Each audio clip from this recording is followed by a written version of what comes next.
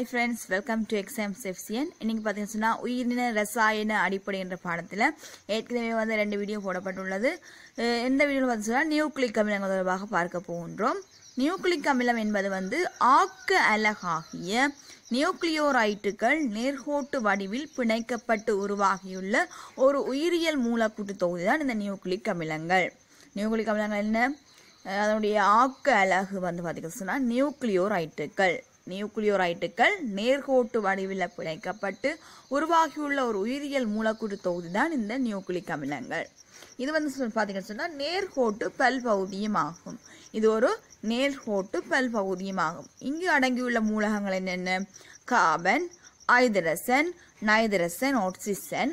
வந்து ஏற்கனவே நாங்கள் பார்த்த புரதத்தில் உள்ள அந்த அமி மூலக்கூறுகளோட வந்து பொசுபரஸ் ஆகிய மூலகங்கள்லாம் வந்து இங்கு அடங்கியுள்ளன.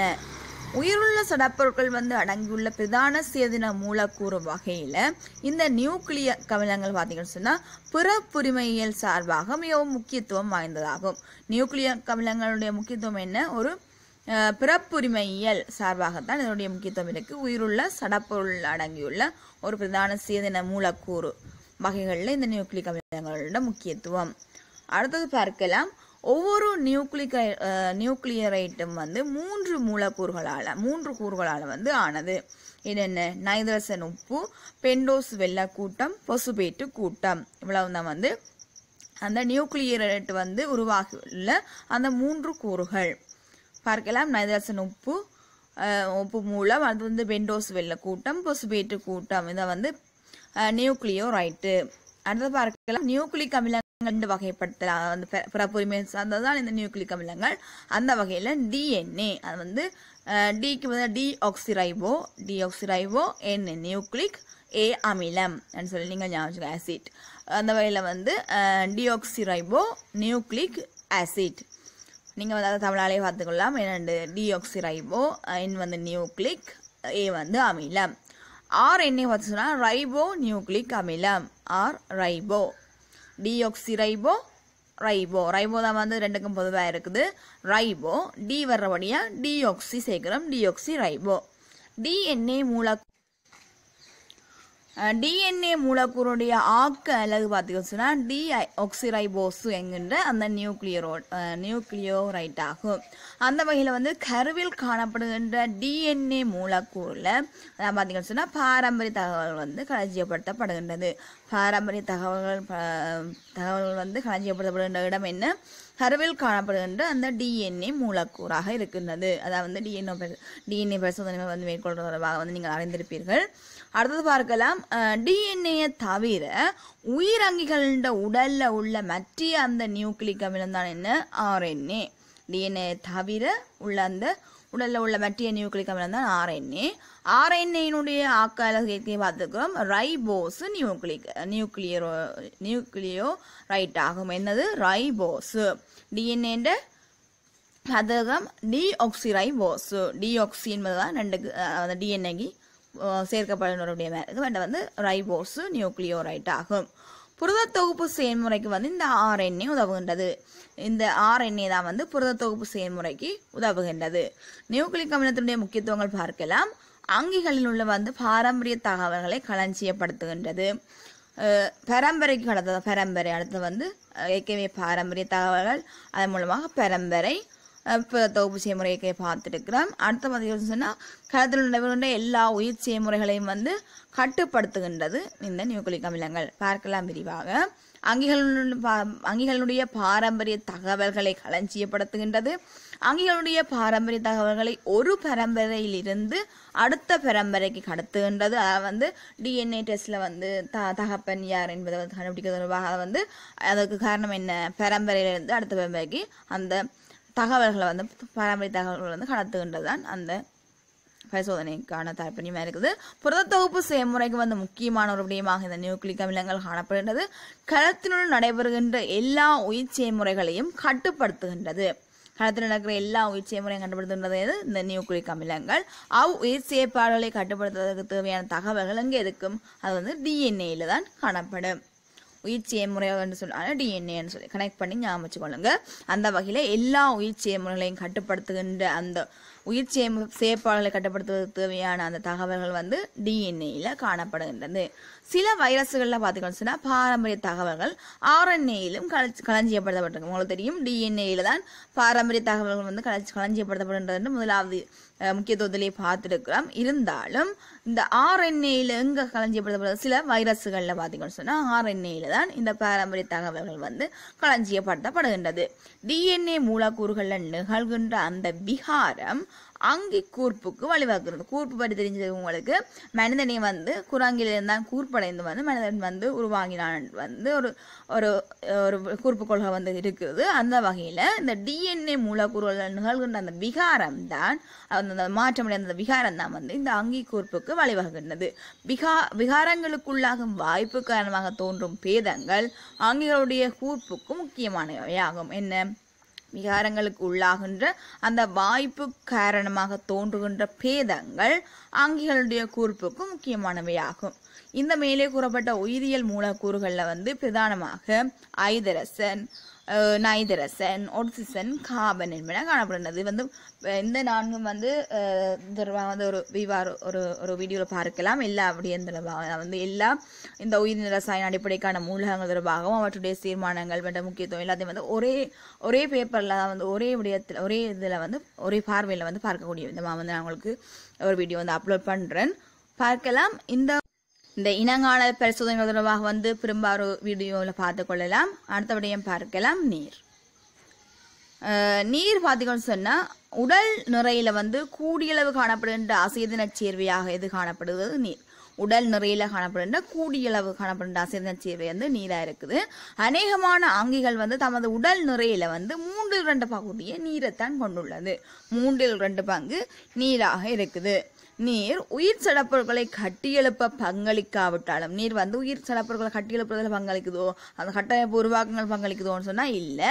ஆனாலும் இது அதனுடைய நிலவு அந்த ஒரு அங்கியுடைய நிலவுகைக்கு என்ன அவசியம்? இந்த நீர் அவசியமானவருடையமாக இருக்குது. பூமியில் அங்கிகள் முதலில் வந்து நீரில் தான் தோன்றுறது பூமியில் உள்ள அங்கிகள் வந்து முதல் முதல்ல எங்கே தோன்றிச்சு? நீரில் தான் தோன்றுறது நீர் மூலக்கூறு எளிய கட்டமைப்பை கொண்டுள்ளது. உடலில் பெருமளவாக காணப்படுகின்ற அசைதன சேதியான நீர் ஆங்கிகளின் உடலில் நடைபெறுகின்ற பல்வேறு தொழிற்பாடுகளுக்கு முக்கியமானதாக இருக்கும். அது தொடர்பாக எல்லாம் கீழே ஒரு அட்டவணையில் பார்க்கலாம். அந்த வகையில் பார்த்தீங்கன்னு சொன்னால் நீர் வந்து ஒரு தனித்துவமான விசேட இயல்புகள் காரணமாகத்தான் ஆங்கிகளுடைய நிலவகைக்கு வந்து பங்களிப்பு செய்யுது. அங்கிகளுடைய பல்வேறு தொழிற்பாடுகளுக்கு வந்து முக்கியமான ஒரு விடயமாக இருக்கிறது. மூலக்கூறுகளை வந்து கட்டமைப்புகளை உருவாக்காவிட்டால் வந்து அங்கிகளுடைய உயிர் சட்டப்பொருளை வந்து கட்டியெழுப்ப பங்களிக்கப்படாவிட்டாலும் வந்து அதனுடைய நில வகைக்கு அவசியமானதாக இருக்கின்றது. அடுத்தபடியும் பார்க்கலாம். நீரினுடைய அந்த இயல்புகள் உயிரினுடைய நிலவுகைக்கு வந்து எவ்வாறு பங்களிப்பு செய்கின்றது என்ற விடயத்தை வந்து அட்டவணையில் பார்க்கலாம். நீருடைய தனித்துவமான இயல்புகளின் என்ன? ஒரு சிறந்த கரைப்பான். அது உங்களுக்கு தெரிஞ்சிருக்கும். சீனி தேயிலை வந்து பொருட்களை வந்து கரைக்கிறதுன்னு சொல்லி நீங்கள் வந்து கனெக்ட் பண்ணி ஞாபகம் கொள்ளுங்கள் ஆனால் வந்து நாங்கள் அந்த விடயத்தை பார்க்க போகிறதில்ல உயிரின்ற நிலவுகைக்கு வந்து பங்களிப்புற ஆற்றலும் வந்து சிறந்த கரைப்பானாக தொழிற்படுகின்றது அதுதான் முதலாவது இயல்பாக இருக்குது. அடுத்து பார்த்தீங்கன்னா சொன்னால் சுவாச ஊடகமாக என்ன? நீர்வாழாங்கிகளுக்கு. பார்க்கலாம். சுவாச ஊடகம். அடுத்தது உடல் வெப்பநிலை சீராக்கத்திற்கு அவசியம். அது வந்து உங்களுக்கு தெரிந்திருக்கும் இந்த விடயங்களோட வந்து பார்த்தீங்கன்னு சொன்னால் கடத்தல் ஊடகம். சுவாச ஊடகம். சுவாசத்தை வந்து உடல் வெப்பநிலையை சீராக்குறது அது வந்து கடத்தல் ஊடகம் அங்கிகளுக்கு வாழும் சூழலாக தொழில் தொழிற்படுகின்றது அது வந்து அதுவும் வந்து பார்த்தீங்கன்னு சொன்னால் இந்த சுவாச ஊடமாக தொழிற்படும் என்றதும் வந்து அங்கிகள் வாழுகின்ற சூழல் தொழிற்படுகிறது வந்து கடல் வாழ் உயிரினங்கள் அதாவது நீர் வாழ் உயிரினங்கள் குறித்து சொல்ல சொல்லப்படுகின்றது. கடத்தல் ஊடகமாக தொழிற்படுகின்றது அது வந்து தெரிஞ்சிருக்கும் உங்களுக்கு. ஒரு இதை வந்து அது பொருட்களை வந்து கரைத்து கர கடத்தல் உடமாக விரிவாக பார்த்துக் கொள்ளலாம். சிறந்த கரைப்பான் என்ற வகையில் வந்து அங்கிகளின் கலத்தினுள் உயிர் ரசாயன தாக்கங்களுக்கு ஊடகமாக தொழிற்படுகின்றது என்ன அந்த ஊடகமாக தொழிற்படுது அங்கிகளின் களத்தில் நிலவுகின்ற உயிர் ரசாயன தாக்கங்களுக்கு. அங்கிகளுடைய எல்லா பாயங்களதும் பிரதானமான கூறு என்ன? நீர். எல்லா பாயங்கள் அதாவது வந்து பாயம் சொன்னா பாய்ஞ்சு போறோம்னு யோசனை எல்லாத்துக்குமே வந்து பிரதானமான ஒரு விடயமா இருக்கிறது என்ன? இந்த கூறா இருக்கிறது நீர். ஆங்கிலனுடைய கழிவுகள் அதாவது மலம் என்பவற்றை வந்து கழிவுகள் மலம் என்பவற்றை அகற்றுவதை வந்து இலகுவாக்குறதும் இந்த நீர் தான் அது வந்து உங்களுக்கு தெரிஞ்சிருக்கும் மலச்சிக்கல் போன நேரங்களில் வந்து அதிகமாக தண்ணீர் குடிக்க வேண்டும் என்று சொல்வார்கள். அந்த வகையில் பார்க்கலாம். அங்கிகளுடைய களத்தில் நடைபெறுகின்ற உயிர் ரசாயன தாக்கங்களுக்கு ஊடகமாக தொழிற்படல் எல்லா பாயங்களிலும் பிரதான கூறு கழிவுகள் மேலம் போன்றவற்றை இலகுவாக அகற்றுவதற்கு உதவுகிறது வந்து. இந்த சிறந்த கரைப்பானாக காணப்படுகின்றதால தான் இந்த பங்களிப்புகளை ஆற்ற முடிகிறது இந்த நீரால. அடுத்தபடியும் பார்க்கலாம். சுவாச ஊடகமாக தொழிற்படல். ஒரு நீரில் நீர்ல வந்து ஆக்சிஜன் கரைந்து காணப்படுவதால் நீர்வாழ் அங்கிகளுடைய சுவாசத்திற்கு வந்து முக்கியமான ஒன்றாக வந்து இந்த நீர் வந்து காணப்படுகின்றது. அடுத்தது வந்து உடல் வெப்பநிலை சீராக்குவதற்கு நீரினுடைய தன்வெப்ப கொள்ளளவு வந்து அதிகம் என்பதால உடல் வெப்பநிலை சூழல் வெப்பநிலை மாற்றத்திற்கு ஏற்ப விரைவாக உயர்வு தாழ்வுக்கு உட்படாது. என்ன சூழல் வந்து உயர்வான ஒரு வெப்பநிலையாக இருக்கைகள் வந்து உடனடியாக உடல் உடல் வந்து அதே அளவு உயர் வெப்பநிலையை காட்டாது. அதற்கு காரணமாக இருக்கிறது என்ன? இந்த நீர் தான் வந்து. நீருடைய தன் வெப்ப கொள்ளளவு வந்து அதிகமாக காணப்படுவது தான் இதனுடைய காரணமாக இருக்கிறது. அந்த வகையில் வந்து உடல் வெப்பநிலையினுடைய சீராக்கத்திற்கு இந்த நீர் வந்து அவசியமானதாக இருக்கின்றது.